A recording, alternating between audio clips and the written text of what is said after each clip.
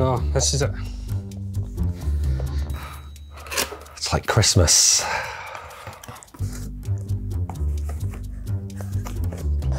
Exciting. Wow. That's tiny, is it? It's really small. Oh wow. As expected, it's quite small.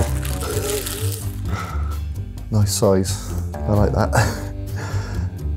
Brilliant. Despite the small size, it does feel quite substantial. It feels good in the hand, to be honest. It feels really nice. Would you like a lens? Yeah, try well lens it. There we go.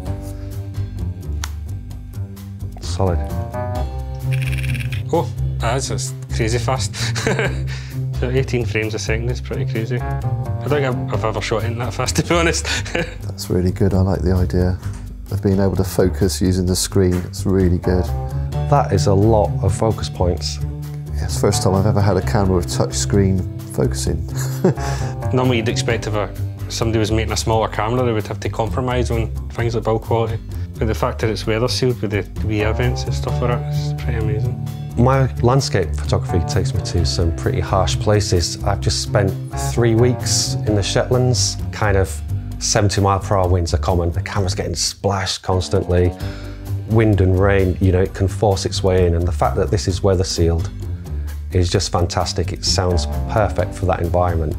Such a compact camera with so much on it. Really amazed. I'd imagine it's going to be quite popular with a lot of people just for the, the size of it and the video capabilities alone.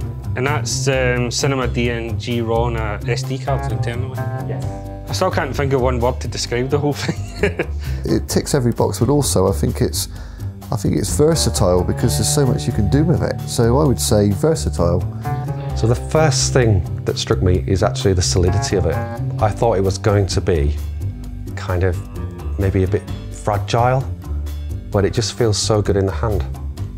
And that's what I love about it. And the fact that it's weather sealed also, it's just going to be perfect for landscape and travel. So I'm looking forward to getting this out in the field, definitely.